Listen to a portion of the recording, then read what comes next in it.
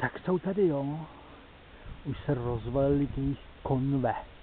Ty konvaliníky. Koukejte, ty příholky. Koukejte, příholenko, jaký celý pole jsou tady konvalinek, jo.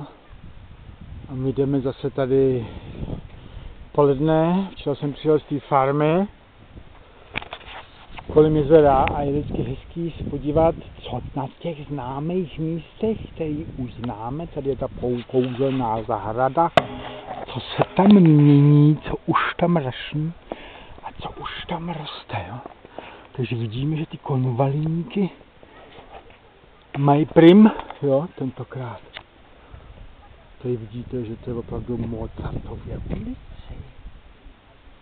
Tak jo, budeme hlásit se odsaď, dokovat nepojedeme do Prahy s Johankou, tak tam budu hlásit, jak to tady mění, jo.